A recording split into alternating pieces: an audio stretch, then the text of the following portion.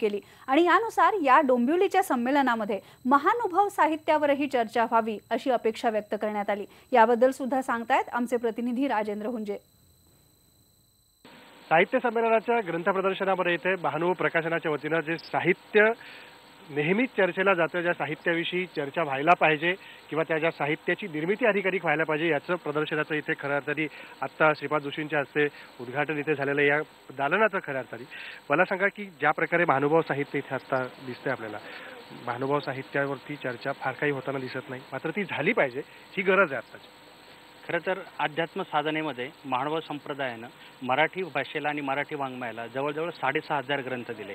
पहिला आद्य गद्य ग्रंथ लीळाचरित्र पहिलं काव्यग्रंथ धवळे पहिलं व्याकरण ग्रंथ पंचवार्तिक यासोबत अनेक स्थळ ग्रंथ महाभाष्य ग्रंथ इतिहास ग्रंथ भूगोल स्थानपोथांसारखा भूगोल ग्रंथ मानव संप्रदायाचा अतिशय व्यापक आणि विशाल असा हा वटवृक्ष आहे. आजपर्यंत कुठल्याही धर्मसंप्रदायानं एखाद्या भाषेला एवढ्या मोठ्या प्रमाणावर वाङ्मय निर्मिती दिलेली नाही. एवढा मोठा धर्मसंप्रदायाचा या ठिकाणी वाटा आहे.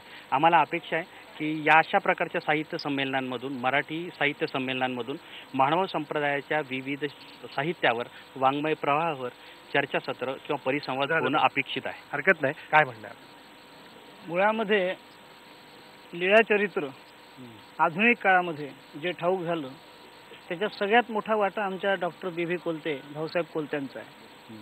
त्यानंतर लीळाचरित्र महानुभाव पंथ याला महाराष्ट्रामध्ये एका अर्थाने ज्याला आपण मंदिराचा जीर्णोद्धार म्हणतो त्या पद्धतीने महानुभाव पंथाकडे पाहण्याची एक नवी दृष्टी आधुनिक दृष्टी आणि विशेषतः समतावादी दृष्टी ही भाऊसाहेबांच्या संपादित लीळाचरित्रांनी दिली.